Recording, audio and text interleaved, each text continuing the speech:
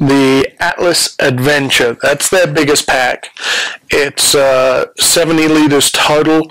Um, I believe 20 liters are dedicated to the built-in photography piece, um, and the rest of it, as you can see, is a pretty sleek multi-day backpack, um, which is what I've been looking for.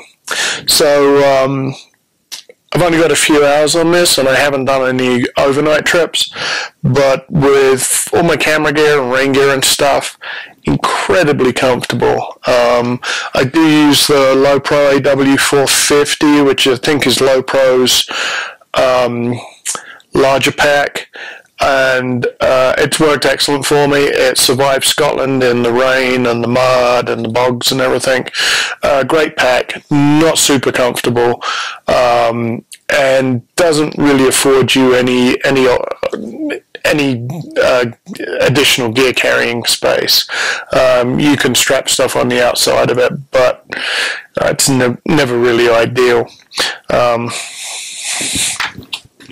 Yep, I've seen people get tents in the in these packs on their reviews. That's uh, Nemo two-man tent. It's fairly small and fairly light, um, but that's it's pretty robust tent. I don't really go in for the single wall bivvies and things. I, I just don't rest well in them, so I'd rather have the pain of a couple extra pounds of carrying uh, to have a proper tent. But uh, anyway, I wanted to show you what I was able to fit in here.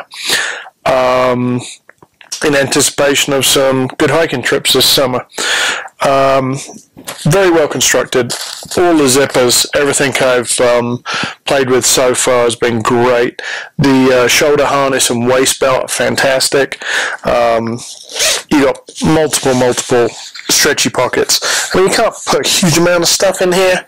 You know, my, my hand is reasonably tight. I can probably get two hand hands deep in there, um, but it is big. Uh, so if you wanted to put like a small, thin rain jacket or something in there, you easily could. This is the uh, pocket I've seen most people use for rain gear. Um, and rain gear I always want accessible. So um, rain pants. Uh, I'd have a rain jacket just on top of that. There's plenty of room.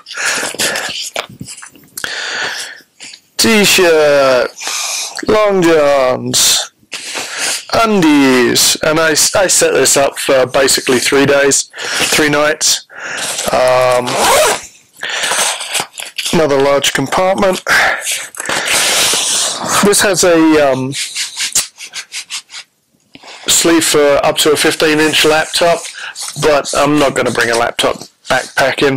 Um, I don't know if there's a way to get that out. I haven't really investigated too hard, but uh, worst comes to worst, it's extra padding, you know.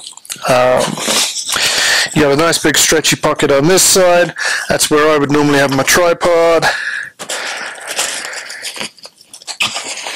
I also have an integrated carrying handle because this will break down um, to carry-on size if you if you choose to fly with it.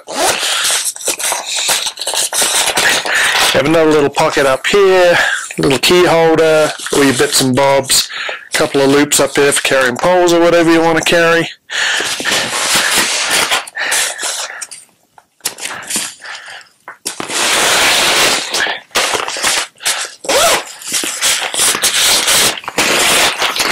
another mesh area. Um, put cards in there, book, whatever you wanted really.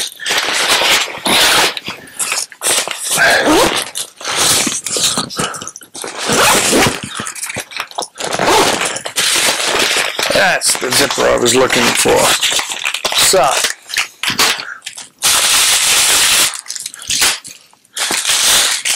that's six servings of rice.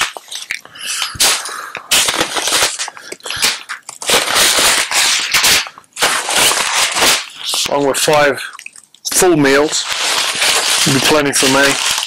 Um, a lot of times when I'm backpacking, I'll um, do oatmeal for breakfast, and I'll just bring uh, either dry steel cut or um, just rolled oats, and I'll just have them raw in a Ziploc. Put some uh, water in the night before, um, by morning it's ready to go. Uh, I usually put cinnamon and nutmeg and raisins and stuff in there.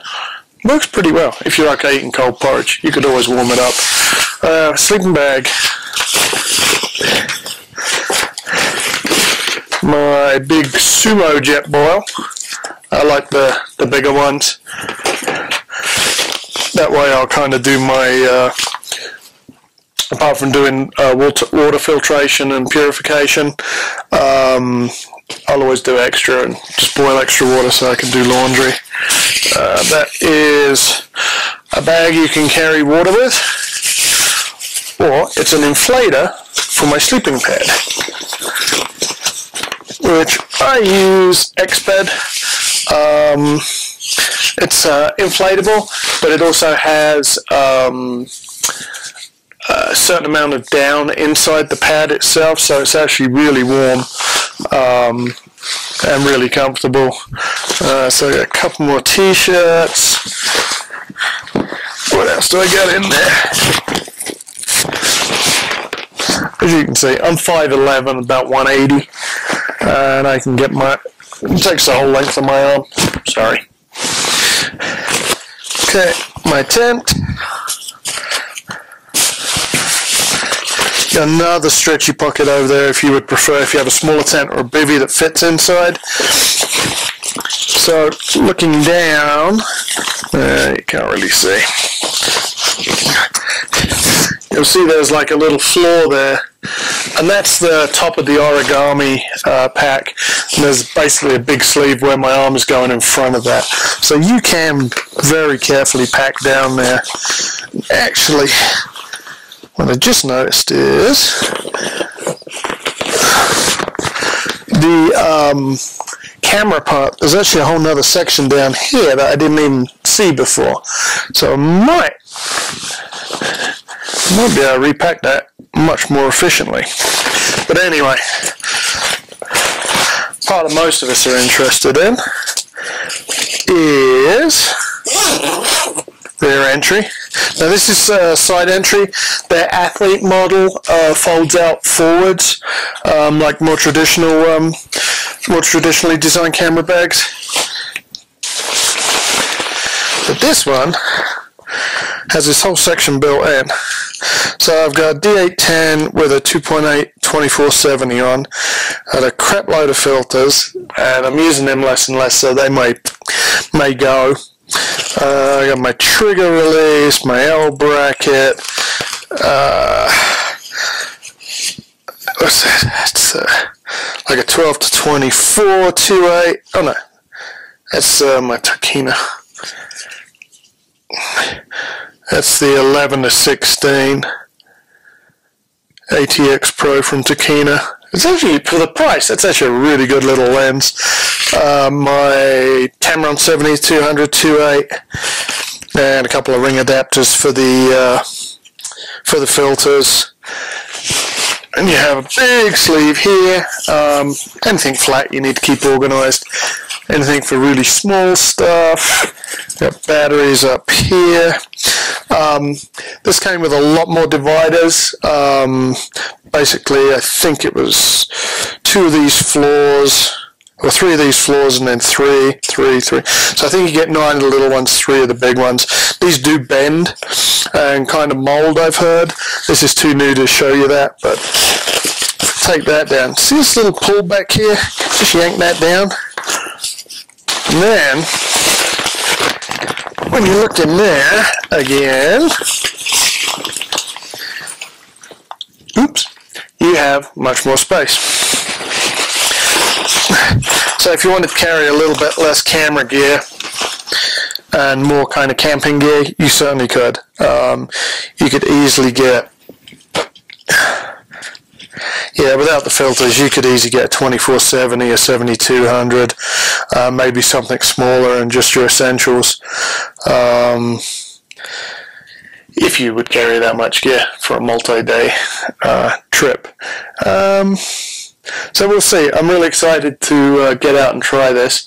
Uh, I was hoping to do that actually this week, but we had a winter storm come through Colorado, and uh, some places got 20 inches. We got a rock on I-70, so people trying to get back to Denver can't really get there unless they go all the way up. Um, so we'll give a few more days uh, for the weather to settle down, and then hopefully I can give you a report on uh, how this performed and how I enjoyed it. And this is Derek Olson from DJOP Photos, and uh, thanks very much for watching.